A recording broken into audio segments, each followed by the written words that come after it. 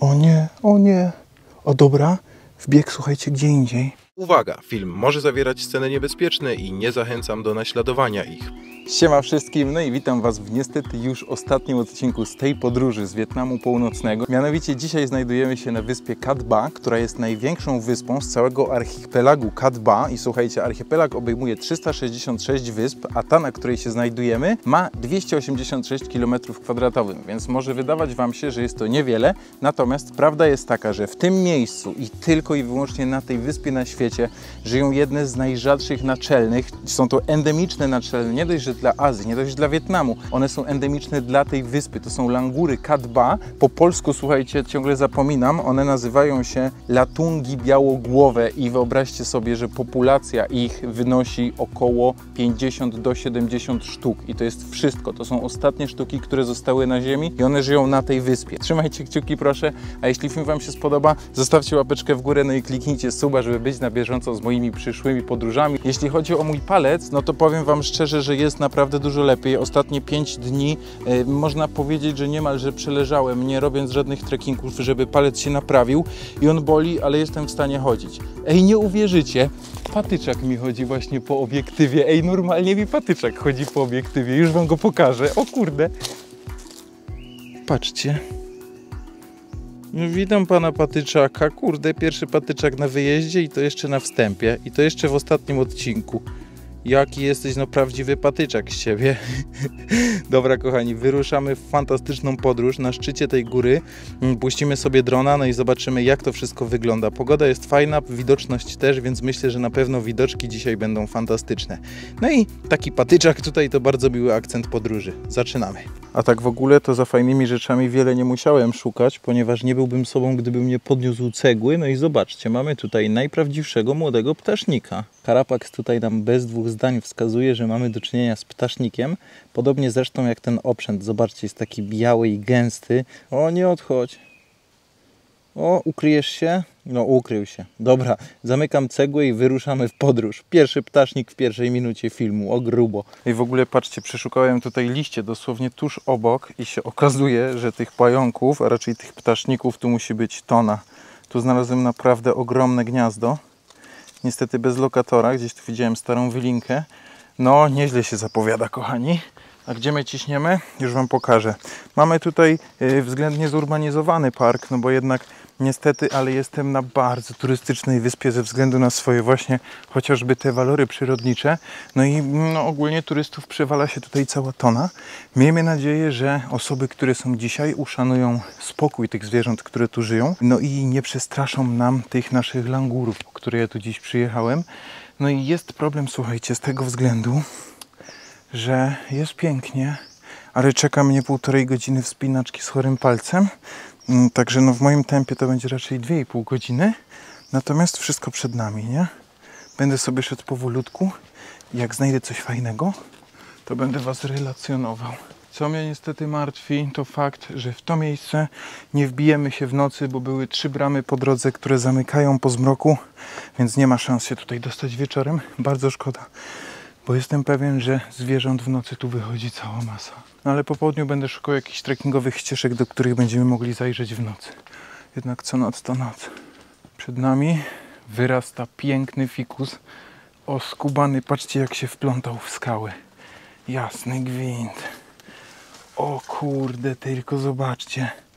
Majestatyczny, naprawdę. Ło, aż sobie nie chcę myśleć, słuchajcie, jakie heteropody tutaj w nocy wychodzą. O kurde. Albo mi się wydaje, albo znaleźliśmy pierwszą polychrachis na wyjeździe. Co jest lepsze, to wydaje mi się również, że to jest królowa. Tutaj na żywo nie jestem w stanie dostrzec, ale zwróćcie uwagę na jej tułów. Po pierwsze jest mocno rozbudowany, natomiast po drugie, co ważniejsze, chyba widać, że miała skrzydełka od boku, nie? Może się uda zobaczyć bardziej od boku. Kurczę, nie dam rady dostrzec. Dość mała, ma około 7 mm, ale zastygła momentalnie, jak mnie zobaczyła, to fajnie. Dość niepodobne jest to zachowanie do mrówek, które zawsze uciekają, jak podchodzę. No niemniej zaczyna się mega spoko, idziemy dalej. Jasny gwint, ale akcja, słuchajcie, mamy tak, mamy scynka, który dobiera się do heteropody, którą złapała osa, która lata tutaj. Czekajcie, bo aż się pogubiłem. Dobra, zaraz osa podleci, natomiast ja muszę podejść tu bliżej. Dobra, scynk uciekł.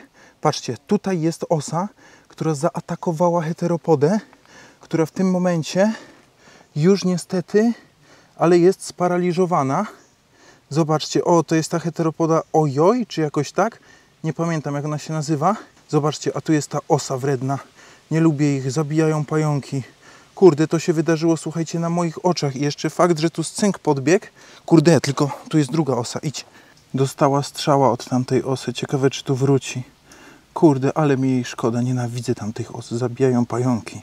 Swoją drogą w Polsce też mamy takie osy, więc generalnie jest to rozpowszechnione na całym świecie. Możemy ruszyć heteropodę, żeby zobaczyć, jak ten jad już zadziałał.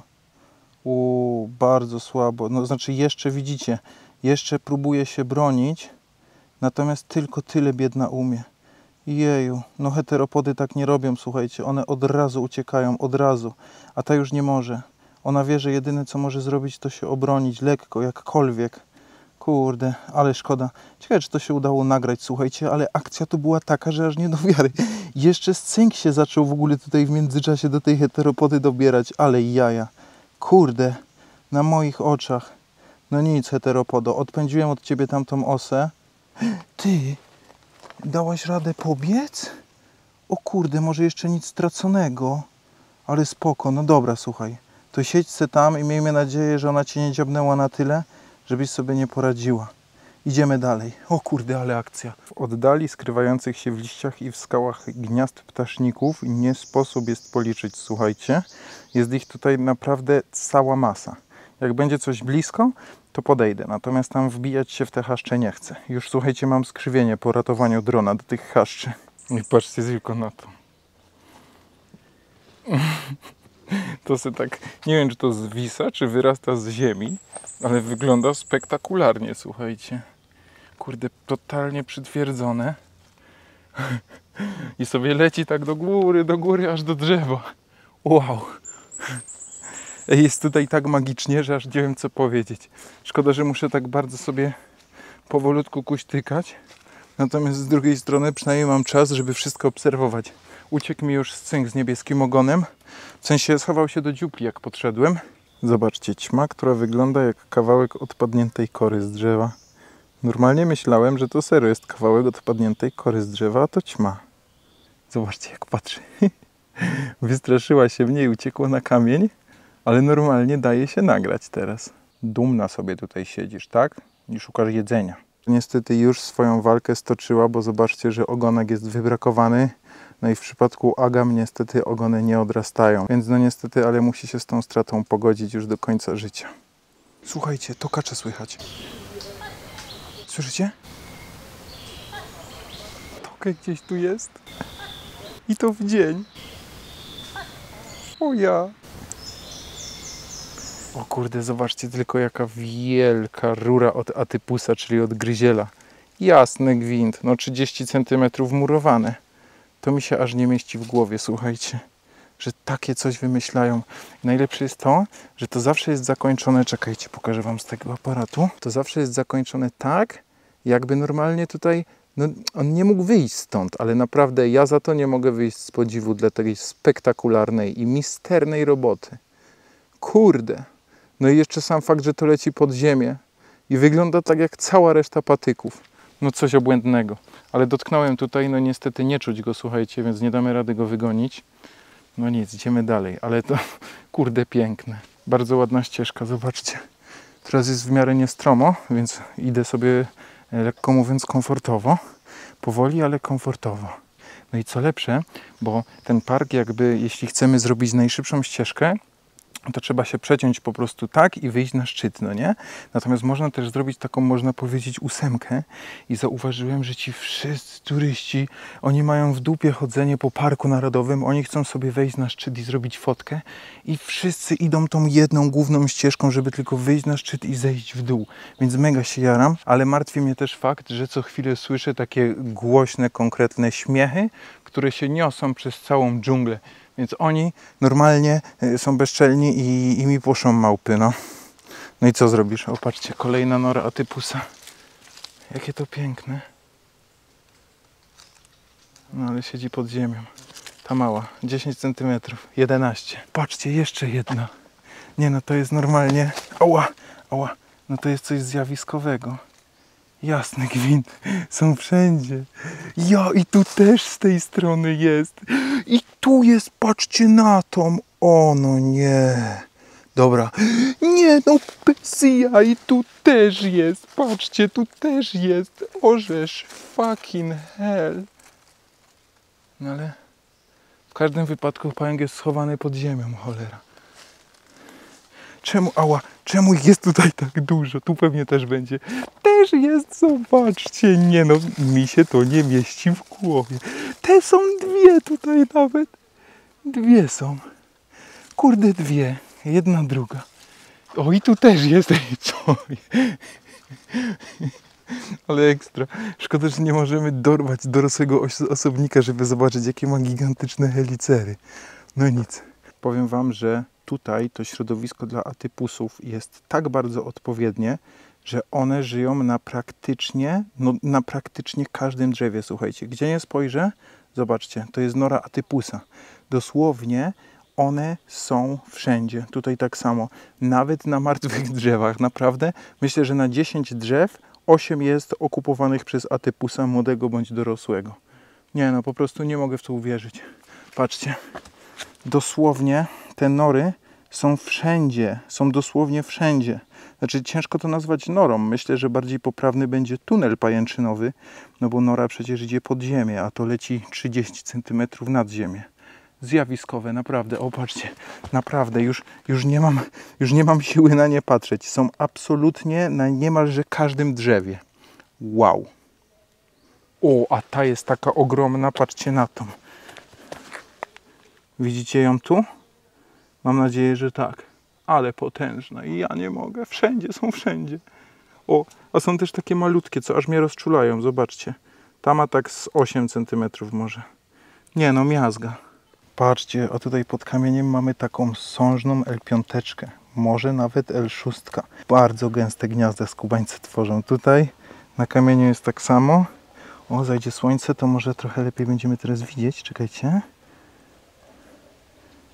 No, znowu jest słońce. Jak wychodzi słońce, to ciężko jest ustawić warunki. No, o, jak się stresuje biedak. Dobra, L5. O, na szczęście się schowałeś w swój oprzęt. Chowamy pająka i idziemy na szczyt, bo już zostało niewiele. Natomiast kurde, dużo ludzi. O ja p***ole, wdepłem w ludzkie gówno. O nie, ej, zaraz się zeżygam. Dosłownie się zeżygam, nie wierzę. O jak się zeżygam. Co ja mam teraz zrobić? Nie, nie. Lewa noga chora, prawa obsrana. No nie, nie wytrzymam.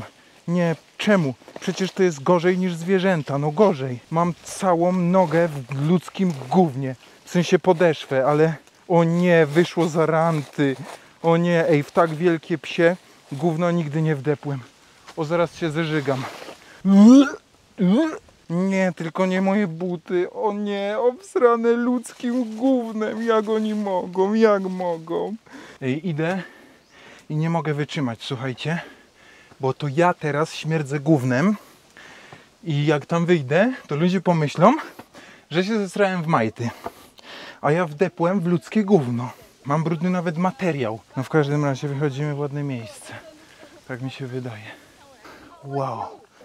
Gdzieś tam są langury, moi drodzy. Póki co ich nie ma, ale jeszcze jest powrót inną drogą.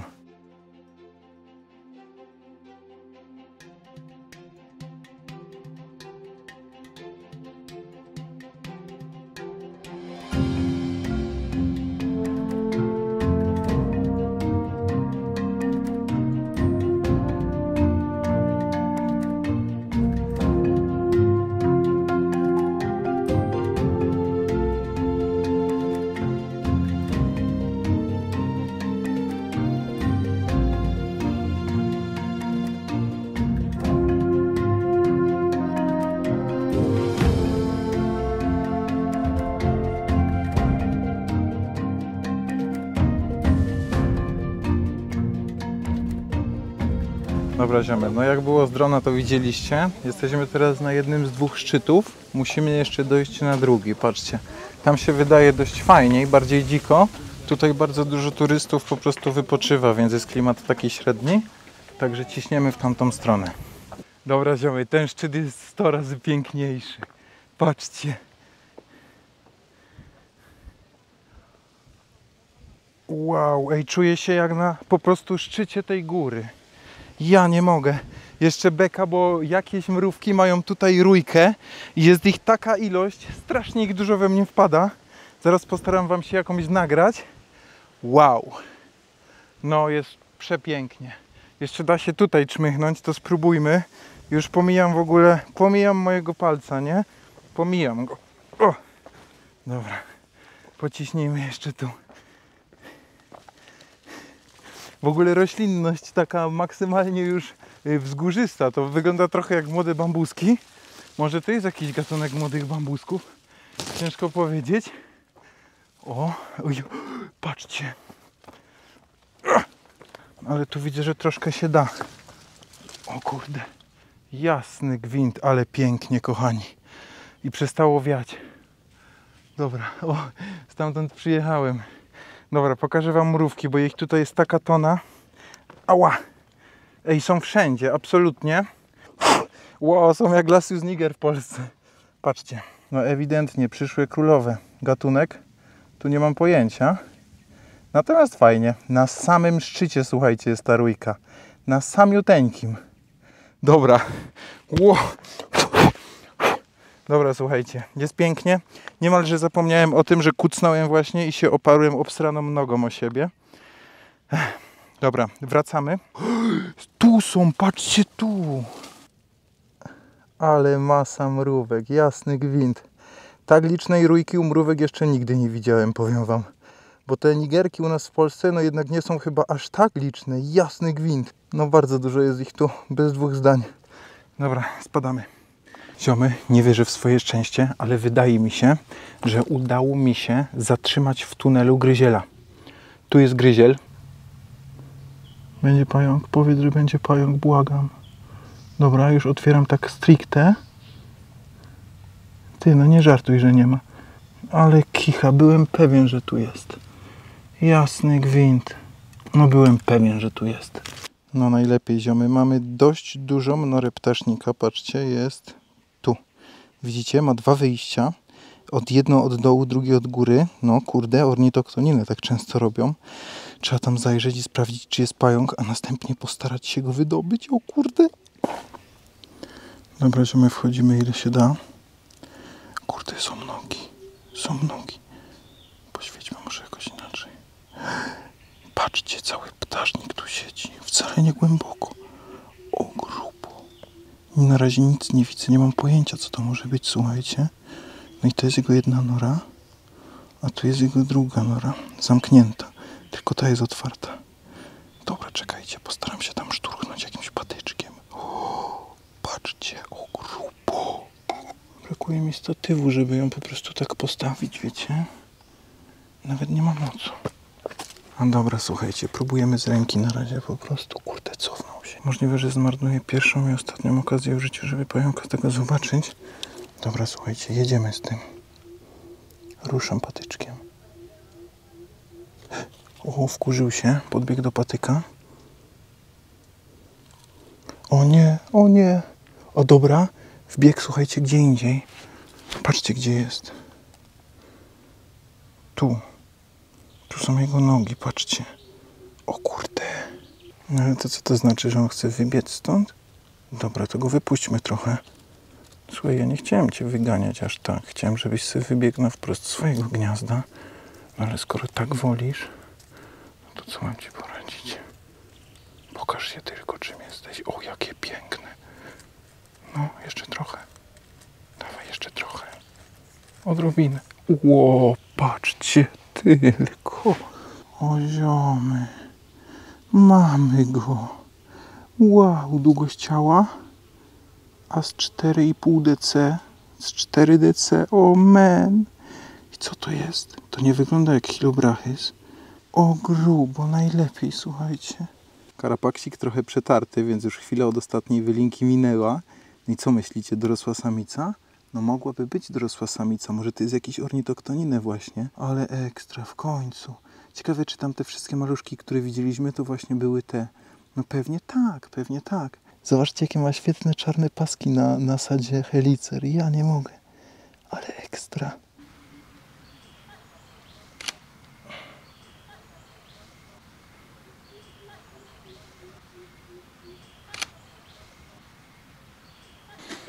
Dobra, ziomy, zmywamy się, ale się jaram na maksa. Na teraz, oła, to tyle, bo wydaje mi się, że wy, wy, wy już nie umiem mówić.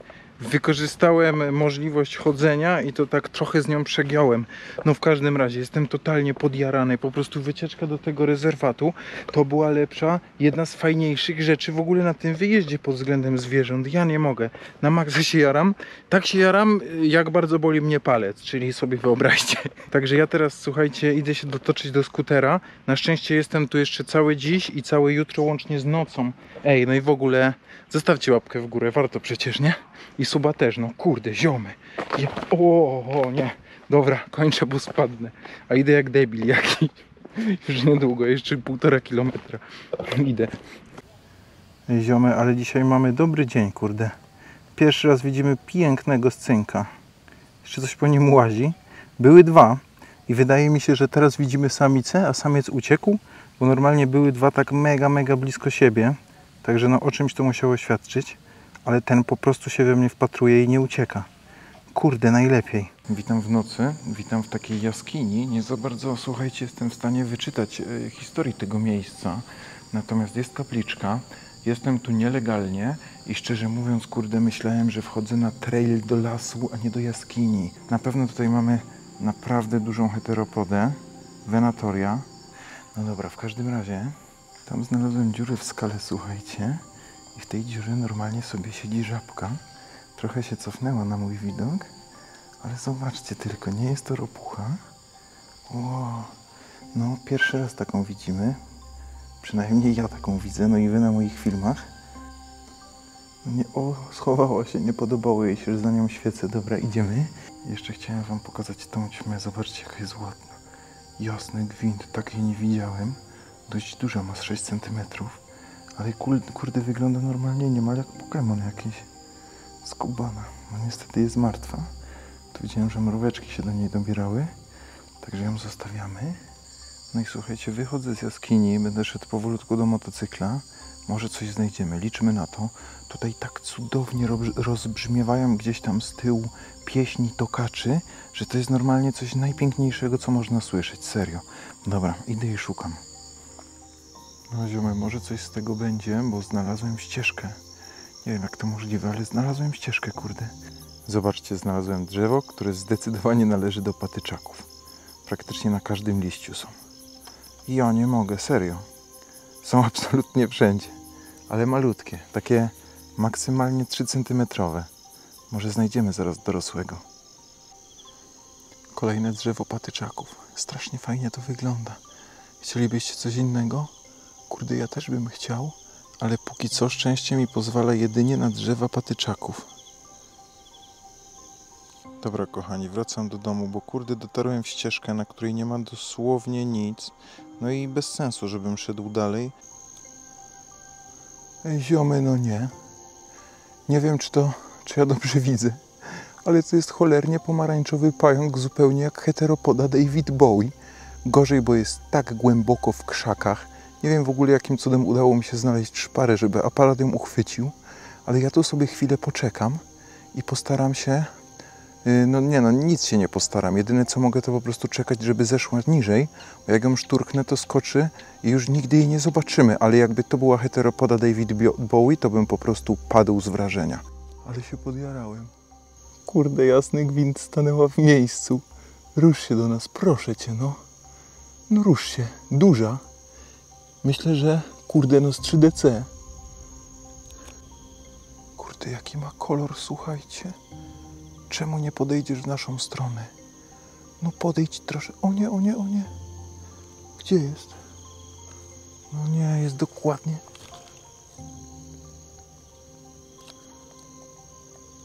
No jest dokładnie z drugiej strony. Niech to szlak. Jasny gwint, tylko zobaczcie. O grubo, nadal nie wiem, czy to David Bowie, bo jest strasznie daleko.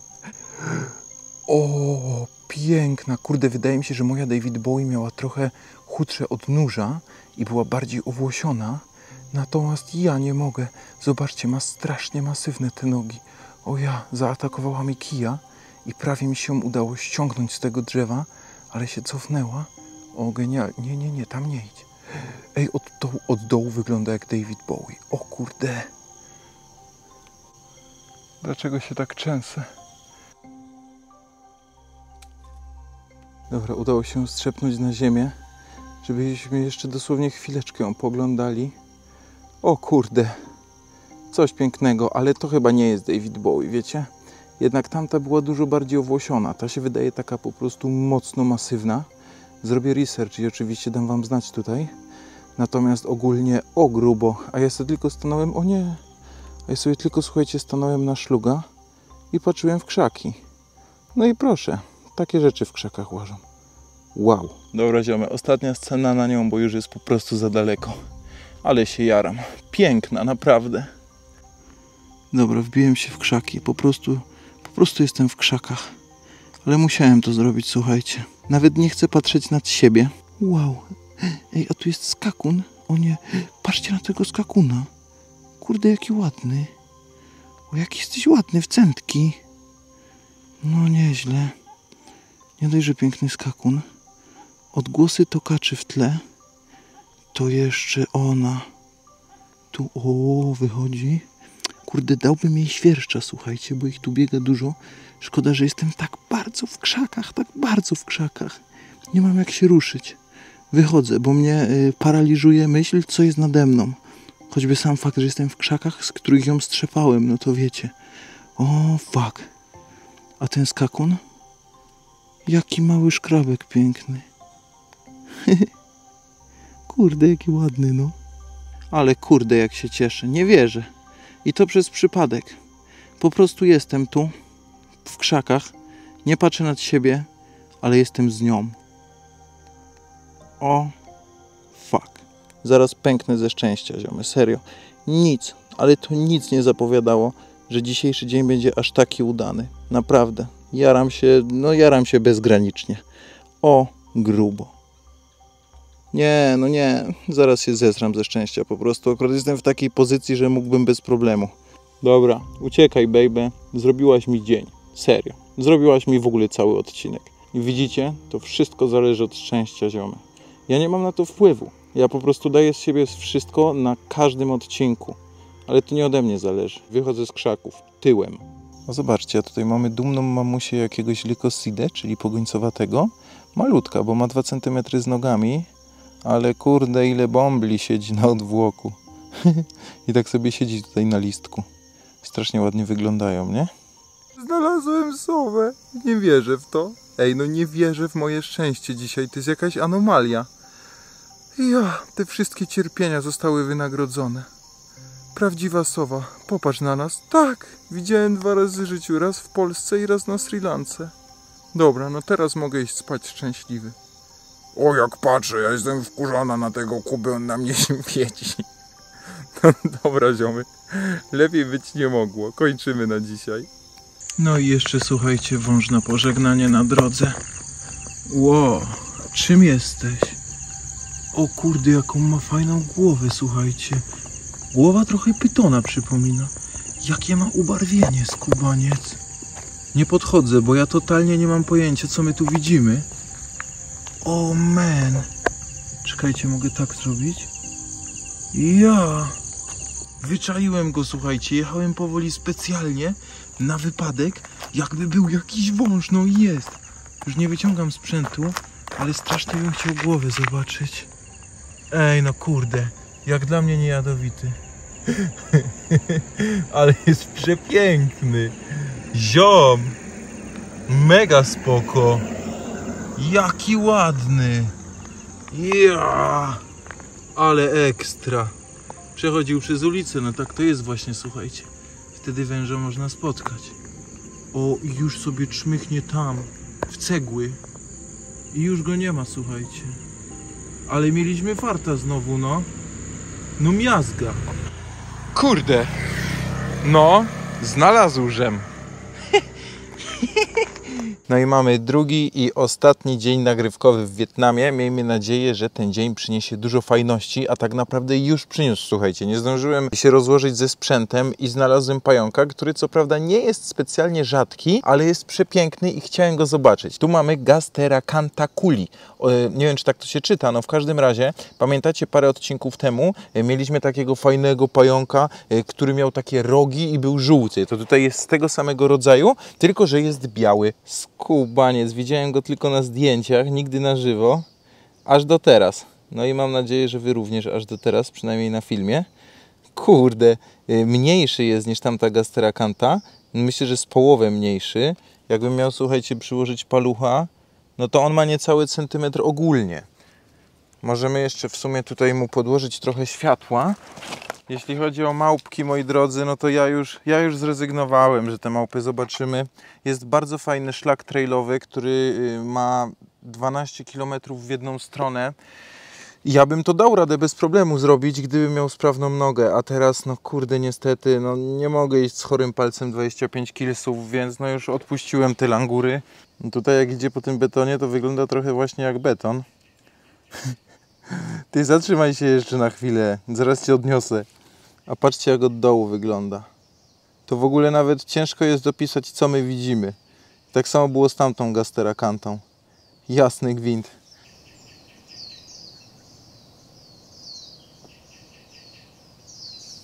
Dobra ziomy, zostawiamy ją, zrobiłem parę foteczek w tej pozycji, to możecie je teraz złapać. No i będę się tutaj przechadzał. Ogólnie za wstęp zapłaciłem dychę i nawet nie wiem dokąd idę, bo po prostu patrzyłem na mapie Google, żeby tylko było choć troszkę dzikości. Dojechałem na szczyt, no i okazuje się, że jesteśmy w powojennym miejscu po prostu. Tu armata wystaje, tu mamy pociski. Aż muszę sobie dotknąć. Taki pocisk, słuchajcie. O, ale tu jest w cholerę płytek, które się ruszają. Hmm. Słuchajcie, jest chyba jakaś królowa mrówki. Tak, ewidentnie królowa. Jaka ładna, ale mała bardzo. Dobra, to ja jej nie będę przeszkadzał. Przecież chcę sobie założyć gniazdo, nie? Dobra, odłożę to. Ale ja bym jeszcze podniósł parę tych płytek. Przecież takie płytki to rarytasy, nie? No może są zbyt ruchome niektóre. Porządny. No i tam jest chyba taka, taki punkt widokowy. Jeśli tak rzeczywiście jest, to będzie w fajnym miejscu dron puszczany. O, jest armata, ziomy. Y, 138 mm kaliber i zasięg 40 km. Porządny kawał żelastwa, ale uszkodzony. Ło, patrzcie, skrzynki jeszcze. Ciekawe, czy to są oryginalne? O ja! Więcej skrzynek. A, to będą skrzynki na te amunicje. O, grubo. Ty, no to muszą być oryginalne. Wow. Ale wypasione skrzynki. Kurde. Dużo. Co my tu mamy, słuchajcie? Okej, tu jest kapliczka. Tu nie wchodzę do kapliczki.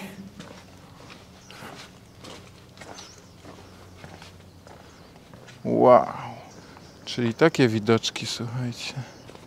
A, widzę, że kiedyś jeszcze tutaj był bar w fajnym miejscu. O kurde, leżaczek. leżaczek.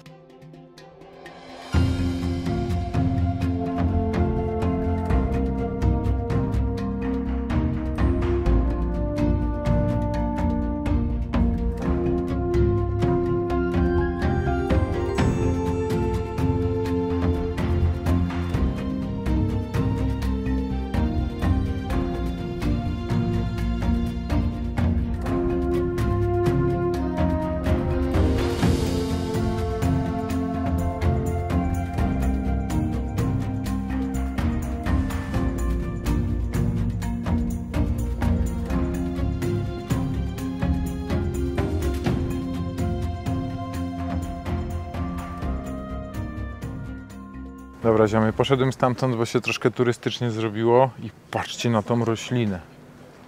Jest totalnie szalona.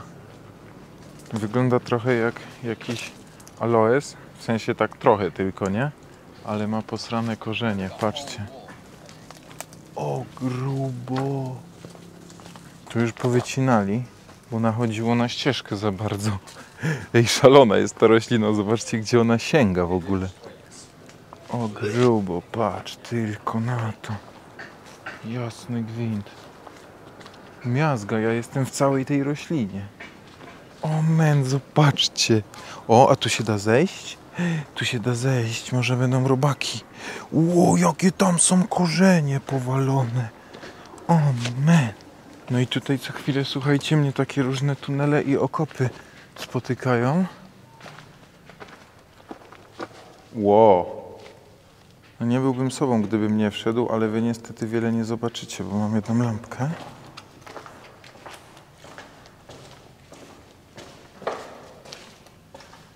Skrzynki. O, czy wy widzicie te nietoperze? No słuchajcie, znalazłem Huntsman Spidera, niby nic specjalnego, ale skubaniec w ogóle nie wykazuje żadnych kolorów. Jest taki, wiecie, no siedzi po ciemku po prostu w bunkrze z nietoperzami. Kurde, prawie go miałem w makro, słuchajcie, a teraz już uciekł na ścianę i dupa z tego. No nic. Dobra, słuchajcie, wychodzimy stąd. Całkiem fajny klimat był. Aha, dobra, już wiem. To są te korzenie, którymi się jarałem. Patrzcie na nie. Orzesz grubo, jak to wygląda. No nic, ziomy, chyba wracam stąd, bo nic tu nie ma, kurde. Pogoda się w ogóle troszkę pieprzy, to widzieliście na dronie. Ej, co jakiś czas mi się wyłaniają takie sztuczne typki i mnie tak schizują. Dobra, ziomy, kończę, bo już mi zaczyna padać na aparat. Kurde, przyszedł deszcz. Cholercia. No niestety, moi drodzy, cały czas pada, w związku z tym kończymy ten odcinek i tym samym kończymy całkowicie podróż z Wietnamu Północnego. Wyszło 6 odcinków. Czy jestem zadowolony? No jestem zadowolony z tych 6 odcinków, natomiast ze względu na mnogość kontuzji, jaką miałem, no to nie jestem zadowolony z ilości tych odcinków, bo chciałem nagrać, no jakby przez kontuzję nie byłem w trzech miejscach. Mam nadzieję, że było fajnie, że oglądaliście wszystkie odcinki, że byliście ze mną. W każdym razie, podsumowując, na pewno wrócę do Wietnamu i na pewno wrócę do Wietnamu Północnego, bo tak naprawdę ja zwiedziłem jego część, a nie całość. To jest bardzo duży teren do zwiedzenia, także na pewno jeszcze jakieś odcinki w przyszłości z Wietnamu będą. Jeśli chodzi o filmy terrorystyczne, to nie wykluczam jakichś, bo na przykład mogę gdzieś do kogoś pojechać albo nagrać też coś, co jest u mnie teraz jeszcze w domu. E, Te rzeczy, które sobie zostawiłem, tą małą cząstkę, także no po prostu zobaczymy jak wyjdzie. Tymczasem z mojej strony to jest tyle. Jeśli dotrwaliście tutaj do końca, napiszcie Wietnam jest super. No i cóż mogę powiedzieć. Trzymajcie się na razie i hej. Koniec. Idę się pakować.